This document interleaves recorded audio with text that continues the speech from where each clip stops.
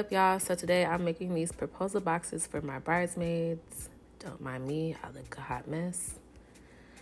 I found these photo storage boxes at Hobby Lobby. They come with a label, and that's where I plan on putting their names. I had this recycled tissue paper, some paper confetti also from Hobby Lobby.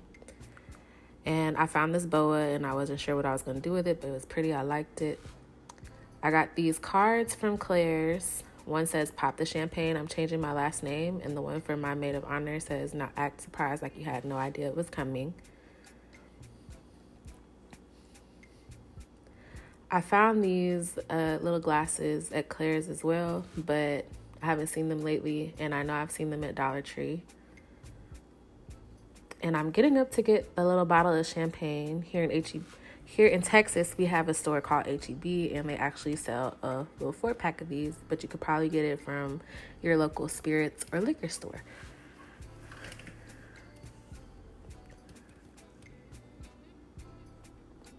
So, my theme for these boxes is Pop the Champagne, I'm changing my last name, or Champagne Toast. I'm going to start by opening the box. Right here, when I opened it, it was something make a lot of noise rattling inside. And it's actually the cards. Like I said, this is a photo storage box. So the cards inside are, I guess, the dividers for the sections of types of photos that would be in this box if you were using it for its intended purposes. Its intended purpose.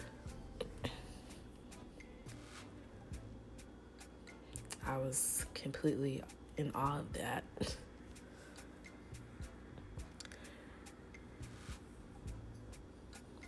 So I got this from Bath and Body Works. They sell champagne toast scented little goodie bag for my pop the champagne theme.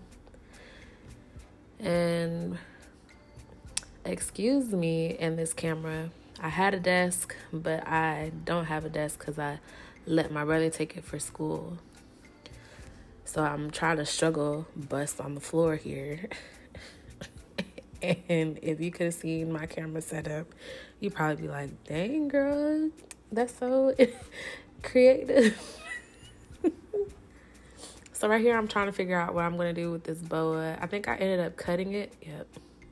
And that was a mistake because all the little flyaways, those things, it's not quite glitter, but it's still pretty a pain in the butt. And I'm sitting here cutting it like I knew what I was going to do with it.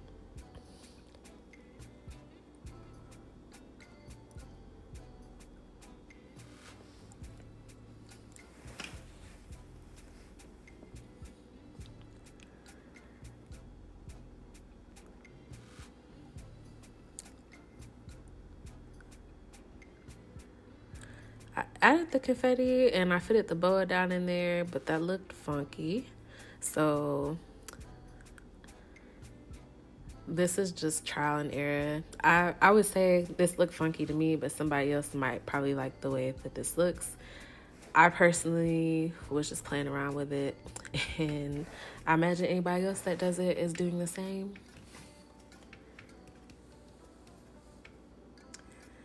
And you definitely don't have to use a box if I was gonna do this over, I'll probably use bags. I'm planning on doing proposal boxes for Casey's groomsmen as well.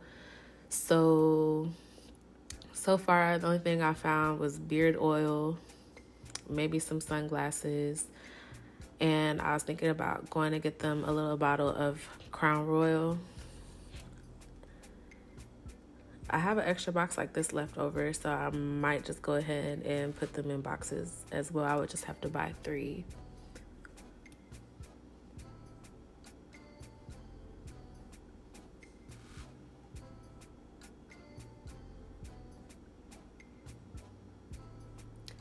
So right here is where I realized I didn't even put the tissue paper in the box.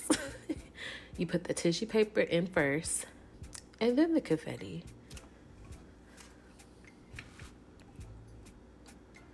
Or tissue paper or confetti. You don't have to use both. I want to say I got this idea off of Pinterest, and these are really popular, I believe, last year as well. I think it's interesting how everybody was like, let's get married this year.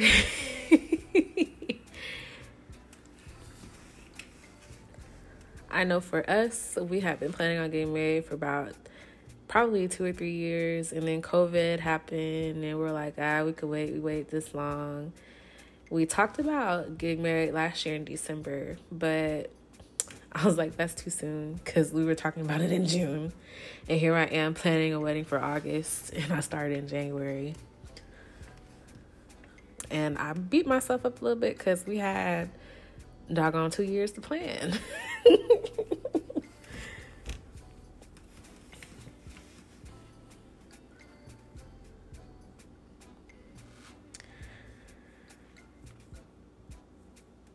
right here you see me struggling. I caught myself taking the price tags off of stuff, but I I quickly stopped doing that.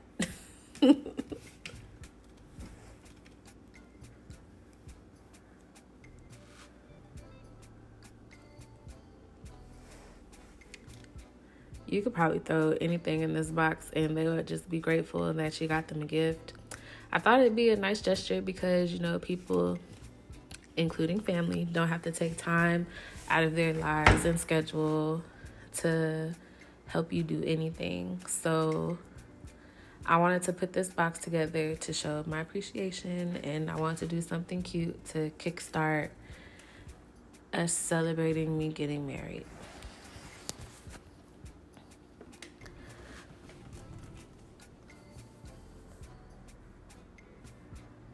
I want to say altogether, one of these boxes probably costs probably about twenty five dollars.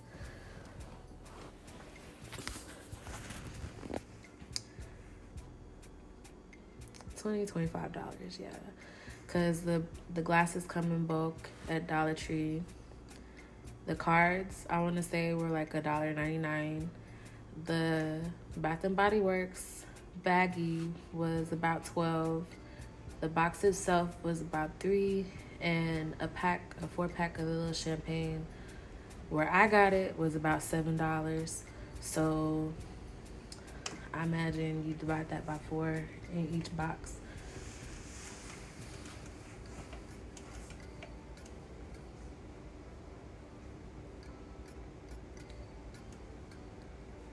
and this is where I got the idea to use this boa because I already cut it up and I can't return it. And they turned out real cute. So for the duration of the rest of this video, I think I only finished this box because this is actually my last bottle of champagne. I sampled some just see what it tastes like. You know, I never, I literally before I started doing this, I hadn't seen this. Um, one of the other places I looked was Twin Liquors and Spec's. But I thought it was pretty cool that the grocery store carried these. I've seen people use the little Shutter House box wine type stuff, but I was going for champagne. and I wanted to stick to my theme. So I got champagne. but you know, you do you boo, do whatever and you definitely don't have to spend this much money. Like I said, they probably just be grateful that you thought to give them a gift of appreciation. I'm playing around with probably buying everybody shoes as well because I think they're like $10 each, and that's only four pair of shoes. And they're already buying a dress. Wedding planning has probably been like the most stressful part of my year, but only because I didn't choose a venue before I got started. Start with your venue. Find a date that's good for you and find a venue that has that day open and then plan around that. I did not do that. So I'm like in crunch time trying to find a venue before August.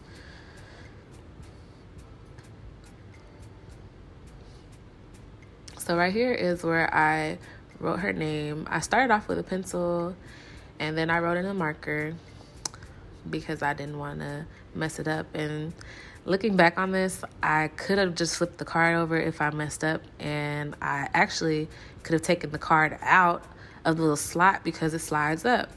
but I don't know, you know, sometimes your brain just doesn't function the way it's supposed to. Look at me trying to hold it in place too. It literally slides up up out of the box, and I could have wrote on a flat surface. But if you're gonna do it this way, I suggest that you do it in an empty box because the contents of the box will shift. Mm. Look at me, just struggle bus from having put this stuff together on the floor because I have a desk and then my camera stand, I want to say my camera stand was like hooked to the side of a stool. And I was having issues with the zooming in and zooming out. I'm trying to figure out like a better quality and a better camera for these projects because you know you see people on YouTube and social media actually using this t- type of camera and it don't look nothing like this. Maybe I just don't have the editing skills. no, no, I'm selling myself short. I feel like the quality is pretty good. It was just the the angles and stuff. So once I get that figured out, I'm gonna go ahead and drop some drop some videos for y'all. As far as what I have left to do for my wedding list, I bought my dress and my shoes I have a veil because my mom got it and I'm not too keen on it. It has like some kind of rhinestones glued to it. I bought a headpiece that I was planning on wearing and putting like a little piece of tulle in the back, but I haven't told her that. She's like dead set on me wearing a veil. And I was like, I can compromise and do something veil like. Um, I need to coordinate buying like vests or suits and ties. I think I'm gonna go ahead and buy the ties for them as well. But I don't know about the shoes because men's shoes are expensive for dressy stuff. And part of me also thought about doing tennis shoes, but I don't think that would look right. I want it to look kind of nice. So I don't know. I'm on the fence. I bought my shoes, my dress, pretty much everything that I'm wearing. I just ordered a dress for my mom, and we're still kind of looking for that. She wanted to order it to see what it looked like, and she doesn't like it. I'm gonna send it back, and we're gonna keep looking. I also need to finish my sign. I made all of my bouquets for mine and my bridesmaids. I made all of the um, what is it called? Boutonnieres. I bought five of them from Hobby Lobby for the groom and the groomsmen. But everybody, like our dads, nephews, and brothers, are going to be wearing corsages. I mean, not corsages, boutonnieres that I made out of little blue flowers and leaves, eucalyptus leaves. And my brothers and dad are going to have a pearl accent on theirs, and then his brother, no, both of his brothers are in the groomsmen. His dad and nephews are gonna have one without pearls. I I have like this huge vision for how I want my reception and stuff to look, but no venue, but um tis. And um I plan on making a boxwood flower wall and on the wall I'm gonna have a sign that I also plan on making it's a neon sign. And both of those projects are things that I'm going to go ahead and upload. I started putting together our centerpieces. I need to buy the floating candles to go in the opposite glasses from the flowers. And I also kind of had a vision of buying mirrors for the glasses to sit on, the vases, whatever you want to call them. So I'm in the middle of shopping at Hobby Lobby. For those of you that don't know, Hobby Lobby has like alternating sales. So sometimes crafts are on sale, florals on sale, wedding stuff is on sale, and it's like half off. And you get in there and buy that stuff half off, you in there.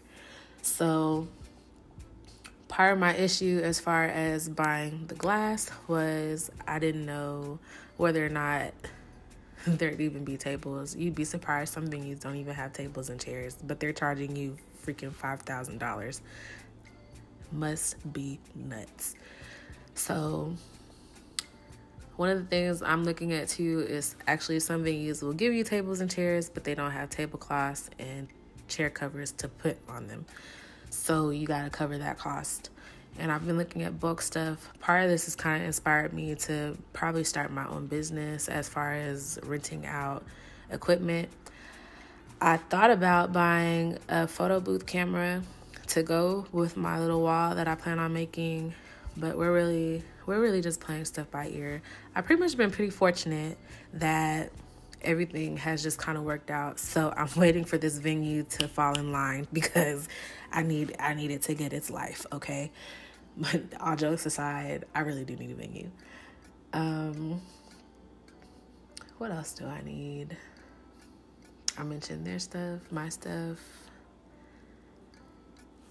I don't know. I'm I'm just gonna upload some more videos for y'all because I I definitely have been slacking in every aspect of this YouTube world. Um, what box am I on? Basically, wedding planning has I can't even lie. It hasn't been stressful. The only stressful part is I don't have a venue right now. That's the only thing that's stressing me out. But everything else seems to be falling into place. Um, I definitely see why people turn into bridezillas.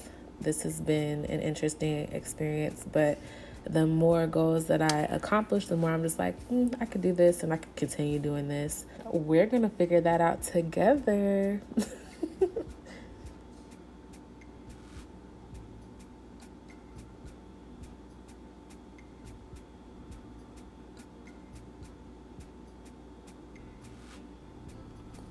Bro, I can't talk for 20 minutes straight. I kind of zoned out while I was talking too. I was like, ooh, gotta figure out how much time I got left, and I'm only at 17 minutes.